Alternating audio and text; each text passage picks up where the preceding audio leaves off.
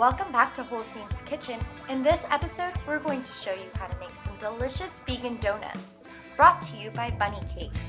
Begin by gathering your ingredients. What you'll need is 1 cup non-dairy milk and 1 teaspoon of apple cider vinegar, half a cup of vegan butter softened, 1 cup of granulated sugar, 1 teaspoon of pure vanilla extract, 1 and a half cups of flour, 1 and a half teaspoons of baking powder, half a teaspoon of baking soda, and a fourth of a teaspoon of salt.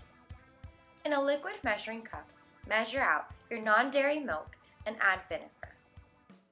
Then, in a large mixing bowl, add your softened butter and cream with a mixer. Then add your sugar, vanilla, and beat until combined. It should be light and fluffy for about 2 minutes.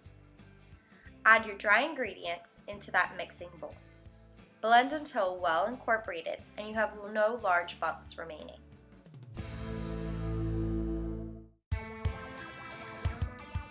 Then take your batter and pour it into your Holstein batter bottle.